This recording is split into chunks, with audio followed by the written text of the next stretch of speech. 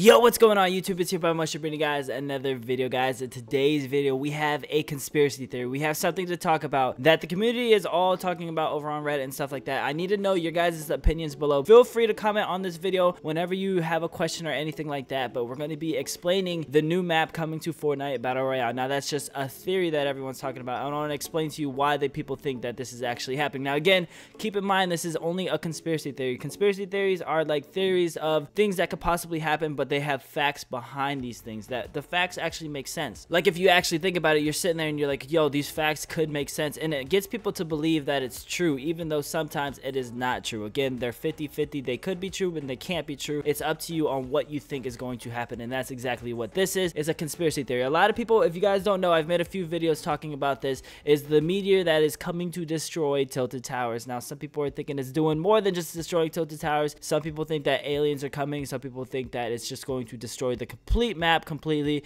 It's going to change things up from water to lava in the game. And a bunch of different things is going to happen in the game with that meteors. Now, some people think that it won't even destroy Tilted Towers. And a lot of people are actually trolling it and they're being funny about it. They're saying that the, the meteor's like the tactical shotgun where it, it deals only 7 damage sometimes because of the random hit accuracy or something like that. It's hilarious. You guys got to check Reddit sometimes because they say some pretty funny stuff over there. But besides that, the theory is it's going to destroy the entire map. That's what we're going to talk about today, where the meteor actually destroys not just Tilted Towers, but the whole map in itself. And that creates a brand new map. The, the reason a lot of people are thinking this is because over on Twitter, if you guys don't follow Fortnite's Twitter page, their actual OG Twitter page, they posted a picture in the tweet and it actually said this, the battle bus is taking off, destination China. Now in that picture, it shows shows, man. It shows blueprints. It shows like four passports, which if you guys don't know, if you team up in this game, you have four passports or there's four characters. And one of the passports is open and it has a character named Jonesy, Joan Jonesy. I don't know how to say his name exactly, but he's a male and the issue date was April 2018. Now over on the right page, it has a stamp which says China 423 2018. Basically means April 23rd, 2018, which is coming up in only three days, you guys. What does this mean? Something, this has to be a teaser for something. Something's happening in three days in Fortnite Battle Royale with season 3 coming to an end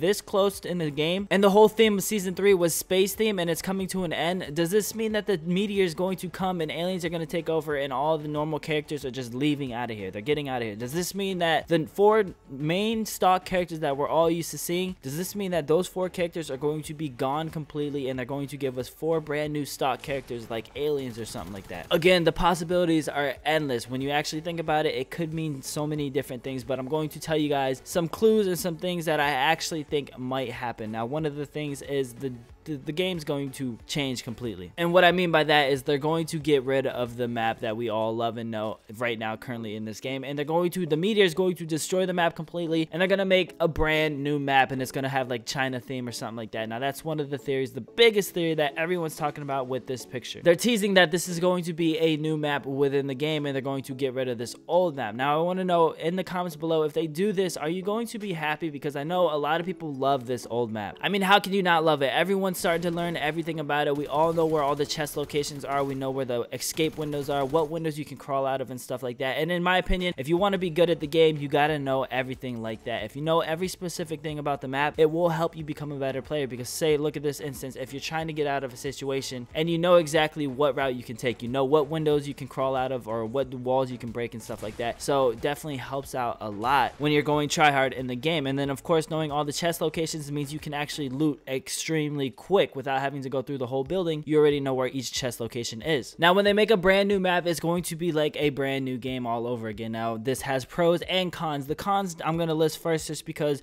we want to hear the pros at the end. But the cons are basically, it's going to feel like a brand new game. We're not going to know the chest location. We're not going to be able to spawn and loot the houses extremely quick. Everything is going to be a little bit more slow. But again, the pros of the new map coming to Fortnite Battle Royale is that we're going to be able to have a refresher on the game. Because guys, if you don't know, this game does get boring sometimes if you play it too much and you, you basically know everything about the map. You know all the spawn locations. You know exactly. You've landed everywhere. You, you have over hundreds of Victory Royale. It can get a little bit repetitive. So if they do add a brand new map to the game, it's going to definitely refresh everything, make everything brand new. It's going to be completely different game. It's going to be a lot of fun. There's always pros and cons to every situation within the game. So again, if they do add a new map, I'm not saying that I would never play the game game ever again. I'm not saying the game will completely die out completely. I'm just saying some people might be upset, but again, people get upset for new things added to the game, things being taken out of the game. So no matter what you do, you're not going to please everyone and you have to keep that in mind. So when it comes to this game, in my opinion, do I think it'll be good if they add they delete the old map and add the brand new map? I don't know because Ninja's on his live stream once, I'm not going to quote the exact words because I don't know exactly what he said, but he said something like this. PUBG, the reason PUBG ended up getting ruined is because they added brand new maps in the game and it split the community up and it makes sense because think about this. If you have two brand new maps in the game, you have two one brand new map and one old map in the game, it's going to split everybody up because you're either landing here or here. And people that land at the new map, they're gonna they're gonna maybe be bored of it and they're gonna be like, no, I want to land at the old map because I know things there. And people that land at the old map are gonna probably rage quit and back out so that way they can actually get into the new map. Again, this is just something Ninja said. He said something like this and it ruined the game because it split the community up. In my opinion, that does make a lot of sense because if they do add two new maps or there is two maps in the game, it's going to split everyone up. For those people that try to play the new maps, they're going to be able to enjoy it and have fun, but everyone that's going into the old maps, they want to try out the new map, but they're not going to be able to get into the lobbies right away, so they might not care to try that hard in the old map. Now, again, this is just opinion, so this doesn't mean this is exactly what's going to happen, but it's just something to think about, you guys. Now, going back to the tweet that Fortnite actually tweeted out, on the passport on the right side, it says April 23rd, 2018, guys. A lot of people are thinking that's coming up really soon, like three days, like I said. Three days, it's coming up, and a lot of people were thinking that something is going to happen in three days. This has to mean something, and it does. I mean, they're definitely teasing something, and a lot of people think the meteor is going to strike on the 23rd of April, which is coming up in three days. In my opinion, I don't know if that's going to happen because I think that the meteor or Tilted Towers or something's going to happen at the end of season three, and that's how they're going to start season four out. Is basically when the meteor strikes, season four is going to be themed around that. It could be either lava or it could be themed something else completely different. Who knows what the theme is going to be? Again, we just have to wait and find out. But people think that that's when the meteor is going to strike. The meteor is going to strike the 23rd, and Tilted Towers is going to be destroyed, or the brand new map is going to come that soon. But I don't think it's going to come that quick. For an update that big to happen in only three days, I don't know. They definitely have to have been planning it out a lot of time before this. But there's been so many updates and things like that to the point where I don't see it coming. I don't see something big happening like that because season four is right around the corner. So why would they update the game with a huge update and then season four comes around and they have to do another huge update? Like I just don't see it possibly happening in Fortnite Battle Royale. Now, uh, one thing that my friend Hollow Point ended up mentioning in one of his videos is he said that he thinks the servers are actually going to be in China on April 23rd, 2018. For those of you that don't know how video games work and stuff like that, we're all playing online, but how we do this is we connect to a server that's close to us. Like in North America, we have a server that we connect to that's close and we play on that server. So basically, people in China don't have a server, so there's nothing too close. The closest thing is probably like Europe something, but it's too far for them to connect to and be able to have a huge number of people playing on it. So they're going to have to have their own server built in China. So basically, I think, and what Hollow Point said, it makes a lot of sense, is on April 23rd, they're actually going to allow people over in China to play this game, which is definitely a huge thing because one, China is massive. If you think about it, they have a bigger population than the United States. So if they get all those people in China to get into the game, that's millions more profit that they can make because it's going to be a lot more people playing the game. They're actually going to probably be able to double the number of what they're making now just by getting China to play the game. Now, business wise, you got to remember Epic Games, they are a business. They don't just do this for fun, they do this to make money. I mean, think about it. How much money have you guys spent on skins in this game? In my opinion, I'm just going to give you guys the number that I spent on myself. I've spent like $300 on skins on myself in this game. That's not counting the giveaways that I give to you guys. That is a lot of money. $300 on a game that's free, and I haven't even bought the Save the World version. It's literally just for the free game, for the cosmetics, nothing else but cosmetics in the game. And that's crazy to think. I've spent $300 and I don't even have the actual game itself, which is crazy to think because, I mean, $300 is like a whole console. I could buy a whole new PS4 with that much money. In today's day and age, video games have gotten so big to the point where that's okay. Like, you actually see that happening all the time. Call of Duty, a lot of people buy all these,